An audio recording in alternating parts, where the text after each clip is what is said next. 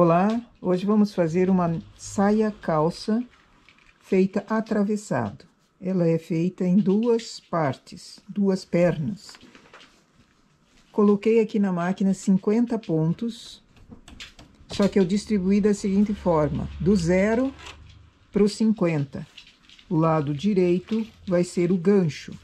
Então, eu preciso que ela comece primeiro a parte da perninha. Enlacei as agulhas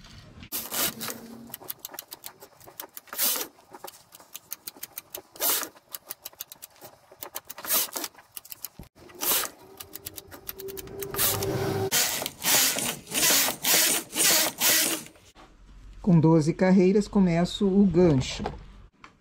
Elevando uma agulha no, na direita, chamo mais uma agulha.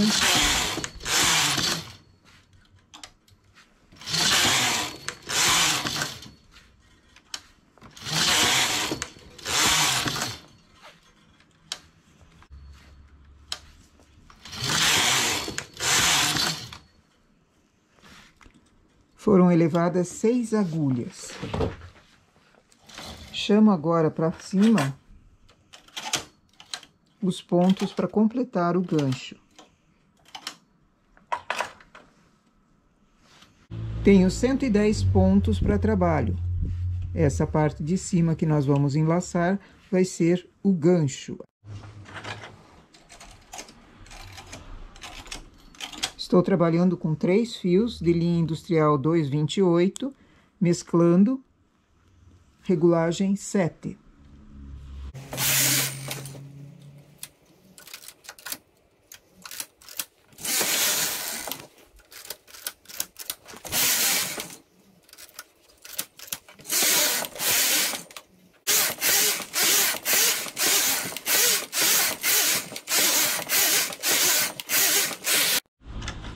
Cento e dez carreiras até a metade dessa perna.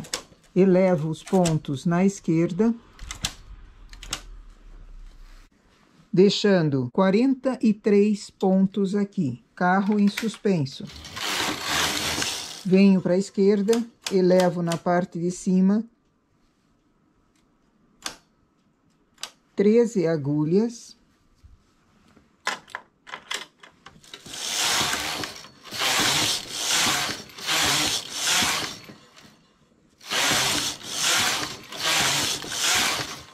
Fiz 10 carreiras.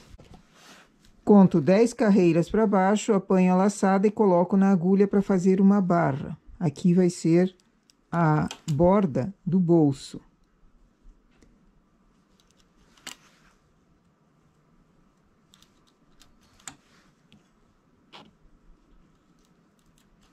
Como a linha aqui é escura, se for em linha mais clara, fica mais fácil de enxergar mas ele precisa ser pego na linha reta.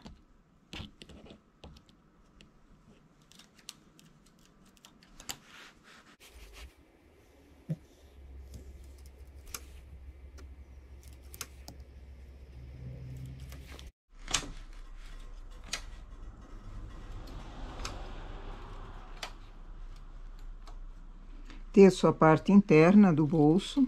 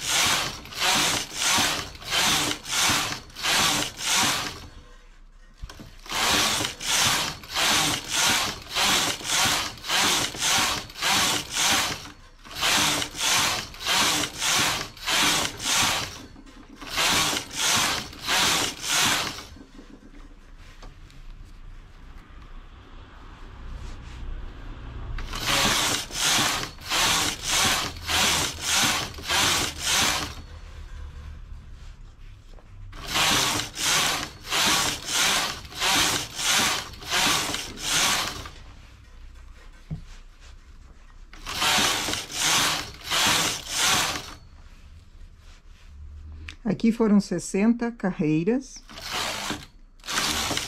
Venho para a esquerda, 61. Tiro a parte da direita do suspenso para baixo e tiro toda a malha do suspenso. É um, esse é um bolsinho pequeno.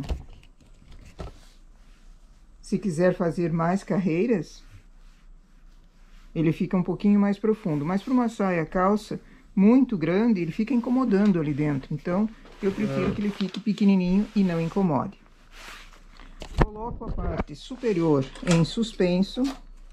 Coloco essa parte aqui da direita em suspenso menos 10 pontos embaixo.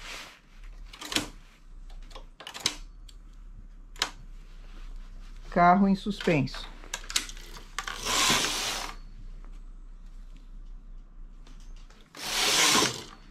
Vou para a esquerda, baixo mais 10.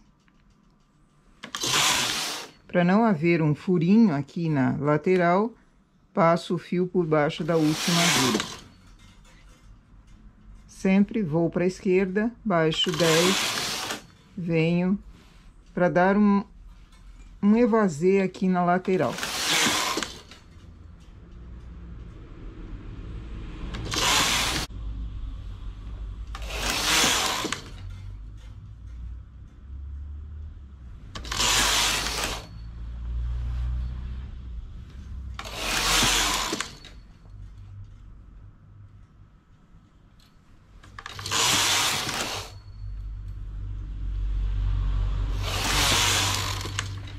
Cheguei com 60 pontos.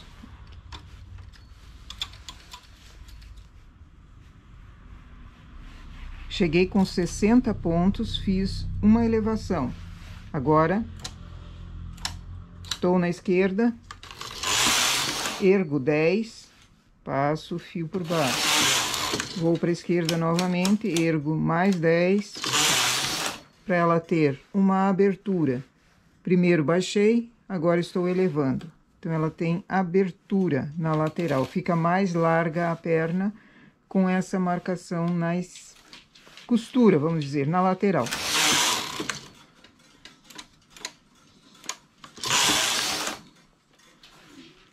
Se tem uma coxa mais larga e queira fazer mais abertura, ao invés de 10 em 10 agulhas, pode ser 8, pode ser 7 ou 6 tiro do suspenso, zero marcador de carreiras. Vamos fazer a mesma quantia que foi feito na parte da frente, ou seja, 110 carreiras, só que agora com um detalhe. Eu vou fazer a parte das costas. Essa foi a parte da frente, onde foi feito a abertura do bolso para cá. Para as costas, eu vou precisar fazer um elevado. Faço 30 carreiras.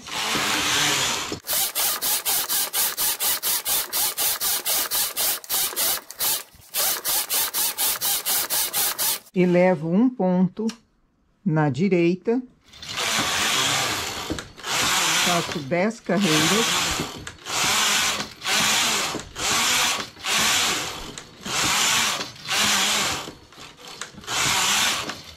Mais um ponto.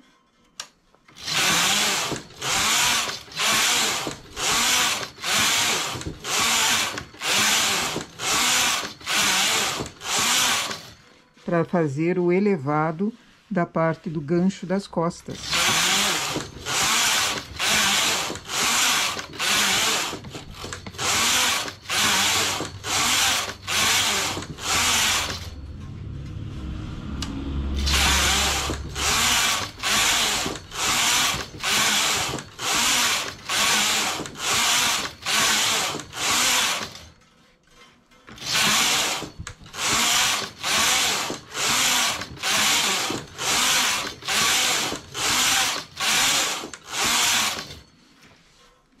Cheguei com seis pontos elevados, agora sigo reto até 110 carreiras. Em 110 carreiras, vou remalhar e começar o gancho das costas. Então, no gancho da frente, nós enlaçamos os pontos. O gancho das costas eu vou precisar remalhar. Remalhei até faltarem 10 pontos para a parte da perna. esses 10 pontos serão diminuídos para formar o arredondado do gancho das costas. Então, aqui em cima, eu estava com 116 agulhas. Tiro da máquina, porque foram remalhados, tiro da máquina 56 agulhas. Vou trabalhar apenas a parte da, do gancho e a parte da perna.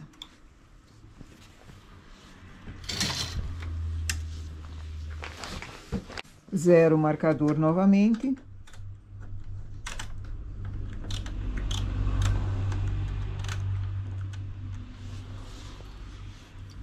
Duas carreiras.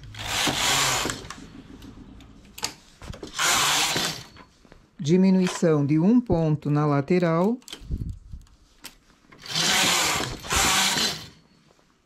Mais um ponto. Eu vou diminuir 10 agulhas a cada duas carreiras.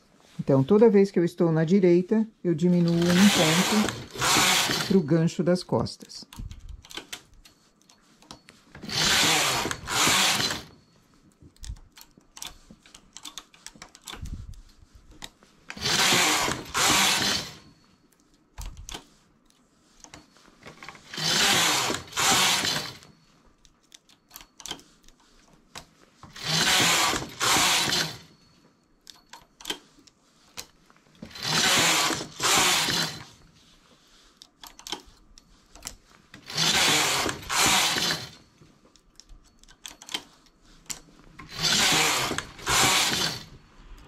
Cheguei em 50 agulhas para trabalho.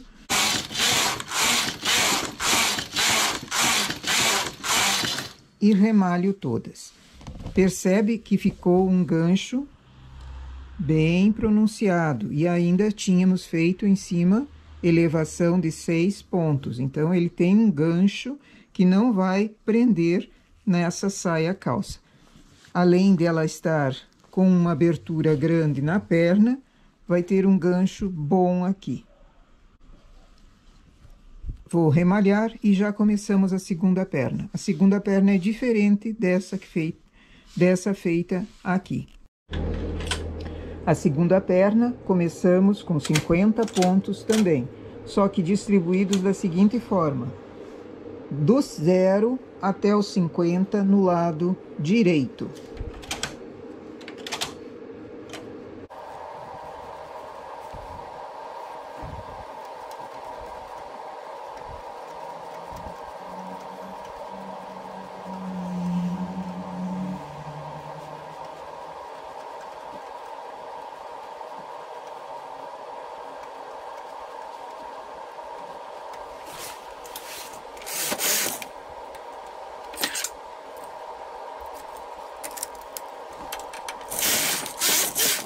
aumento um ponto no lado esquerdo, mais um ponto.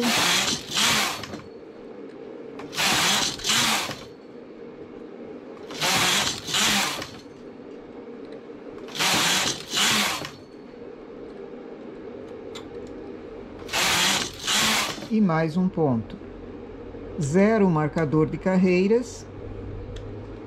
Vou para a esquerda elevo para começar a parte do gancho aqui. Enlaço esses pontos. Por que é diferente uma perna da outra? Se ela fosse sem o bolso, se essa uh, saia calça fosse feita sem o bolso, não teria problema fazer no mesmo sentido que nós fizemos antes. Como ela tem um bolso e esse bolso tem uma lapela, eu preciso fazer dessa forma, uma perna da direita para a esquerda e a outra da esquerda para a direita.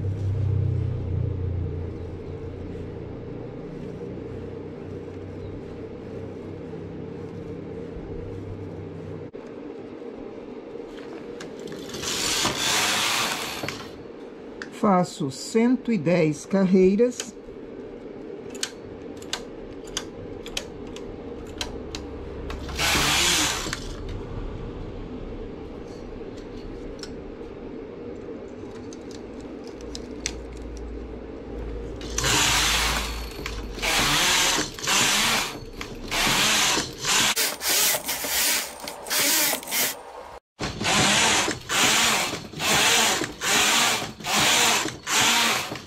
Cento e dez carreiras, deixo treze pontos em cima em suspenso.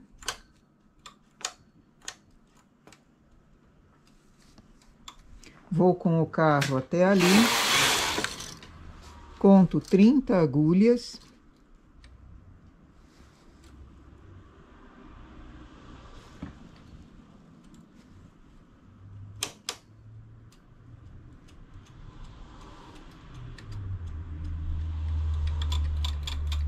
Coloco a parte de baixo em suspenso também.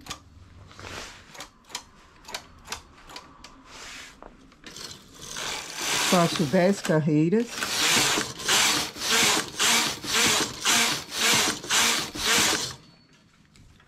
Apanho dez carreiras abaixo, apanho laçadas e coloco aqui para fechar essa barra, essa lapela e depois teço a parte interna do bolso, fazendo a mesma quantia de carreiras que foi feito na outra, no outro bolsinho.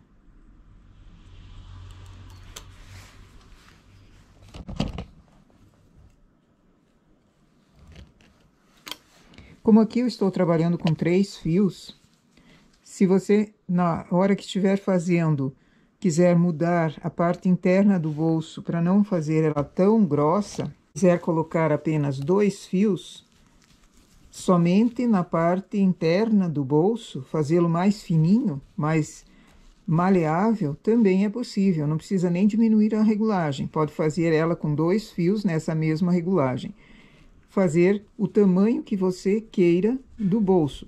Eu aconselho não fazer muito comprido, porque senão ele fica atrapalhando na frente faz um bolsinho. Isso não é um bolso para você segurar a mão ali dentro, é só um enfeite mesmo para deixar alguma coisinha. Faz com dois fios, ele fica menos grosso do que assim com três fios. Eu vou fazer a parte interna do bolso e já começamos a fazer a prega aqui embaixo.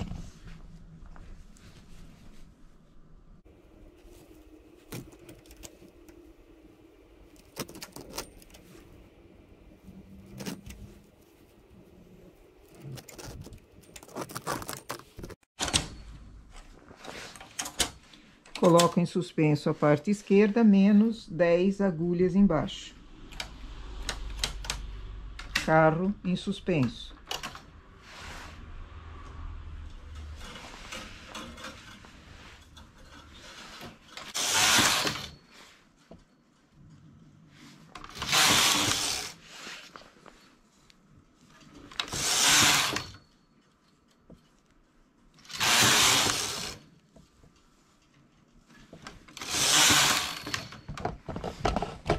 Aqui eu chego até a altura em que eu consigo, não vou mais além por causa do bolso.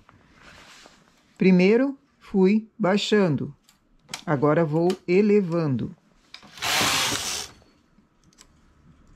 Também de 10 em 10 para fazer a continuação dessa prega.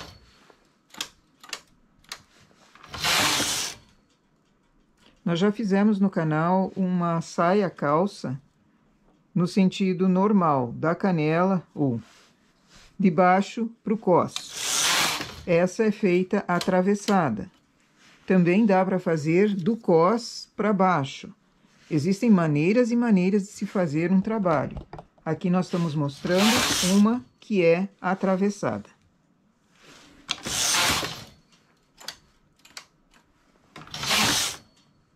Chegando nas últimas 10 agulhas, desmarco todas as carreiras aqui, tiro do suspenso, faço 30 carreiras.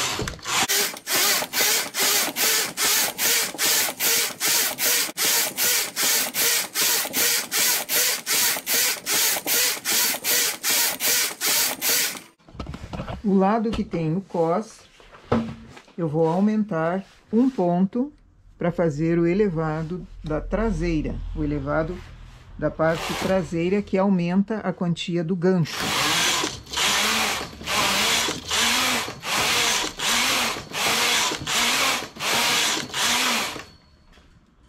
Faço cinco aumentos, uma agulha a cada 10 carreiras. Então, vou chegar em 80, paro de aumentar.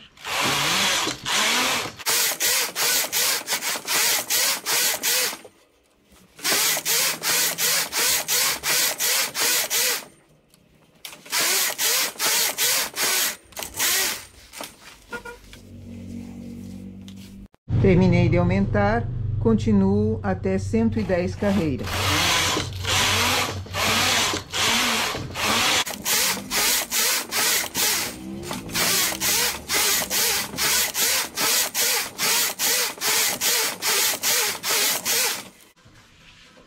Em 110 carreiras, vou com o carro para a esquerda e remalho deixando na máquina 60 pontos. Remalho essa parte para depois começar as diminuições para o gancho. Essa parte é igual a que foi feita a perna anterior. Depois que eu remalhei, vou diminuindo um ponto 10 vezes, um ponto a cada duas carreiras e faço mais 10 carreiras e remalho. Essa parte terminou daí a perna. Depois vamos colocar o cos. Vamos fazer o cos começando uma parte do zero até o 90, outra parte do zero até o 90. Preferencialmente a costura das costas ficando no meio. Essa agulha do meio aqui sobrepõe o ponto coloco no 90 outros dois pontos. Pontos que eu fabrico a partir de laçadas. Acho a metade que fica no bolso.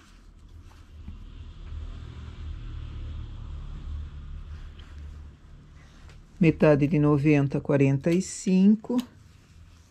Vou achando metades e pondo um pouquinho aqui, um pouquinho ali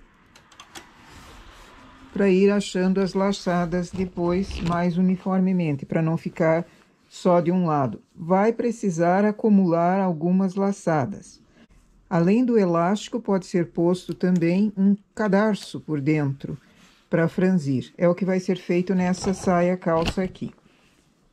Vou colocando laçadas, achando laçadas, e conforme ela vai franzindo um pouco, uma agulha recebe duas laçadas.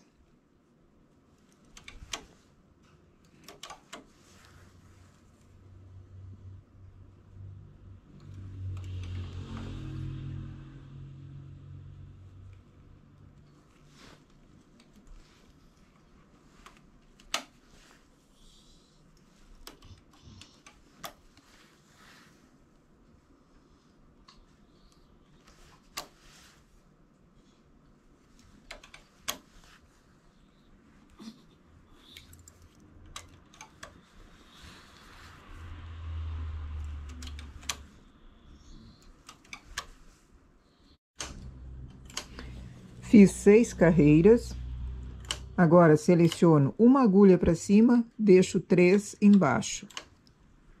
Uma para cima, três embaixo. Essa que veio para cima vai ser transportada para fazer um passa cordonê. Não é passa fita, é passa cordonê.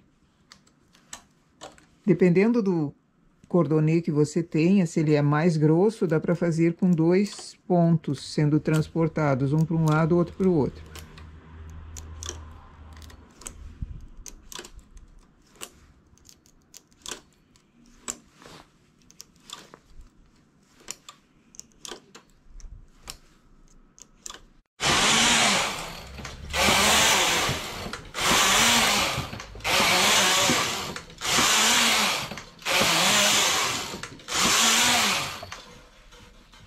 18 carreiras, faço uma marcação em regulagem alta. Volto a regulagem normal.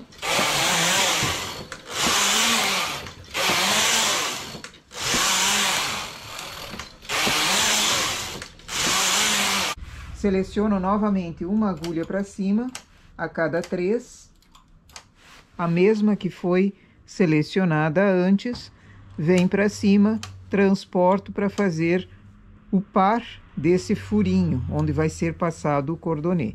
Depois, mais seis carreiras e tiro em linha de outra cor. Esse trabalho vai ser costurado, o acabamento vai ser costurado aqui costuro os ganchos e o entrepernas. E também a parte do bolso interna, já que nós não costuramos na máquina, costuro ela para fechar. Esse bolso pode ficar avulso lá dentro ou pode ser preso também com um pontinho. Não todo ele costurado, apenas deixando um pontinho para ele não ficar indo para frente e para trás. Isso vai do gosto de cada um.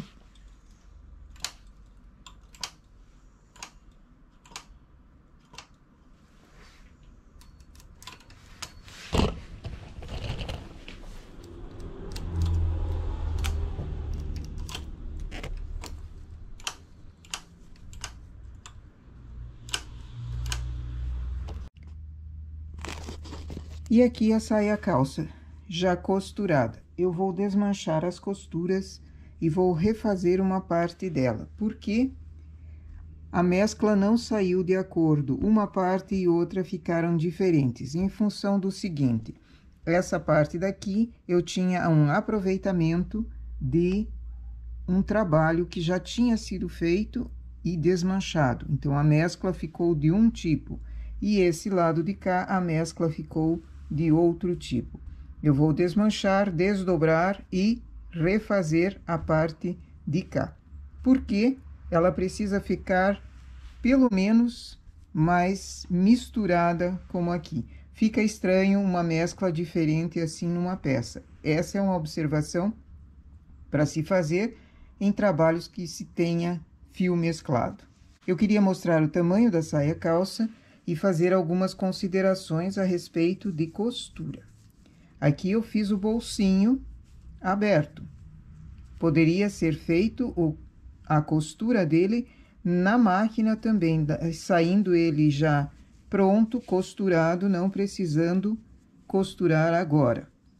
Somente a parte de fora da lapela para firmar tanto embaixo quanto em cima. Essa costura é igual a que foi feita no vídeo em que eu mostrei a meia feita na máquina inteiriça. Foi um vídeo recente, dá para voltar lá e pesquisar como fazer essa costura.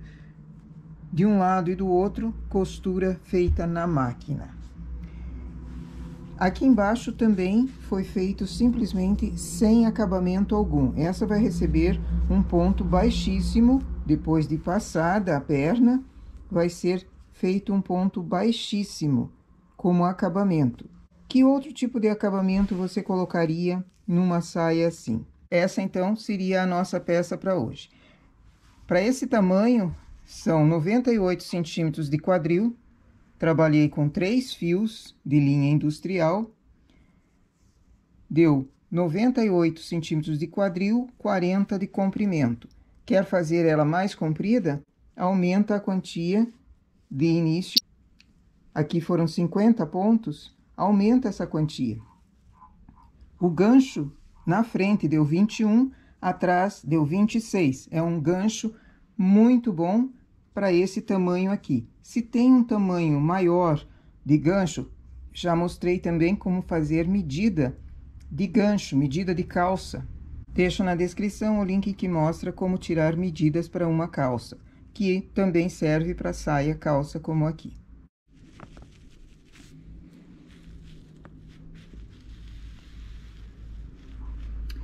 Nosso trabalho, então, para hoje foi uma saia calça. Foi feito com bolso, foi feito com essa prega na lateral. Poderia ser sem bolso, poderia ser reta, poderiam ser feitos mais aberturas assim em carreiras encurtadas, você deixando ela mais larga embaixo também. Com bolso, ela fica bem charmosa. Sem bolso, também ficaria. O bolso pode ser usado em qualquer outro tipo de trabalho feito da mesma forma atravessado, como um short, como uma calça, tanto infantil quanto adulto. Aqui em cima, o cos vai ser elástico e também um cordão. Por isso que eu fiz aqueles furinhos, mas dá para variar bastante. Nossas ideias, então, para hoje colocadas todas numa saia calça. Ok? Bom trabalho!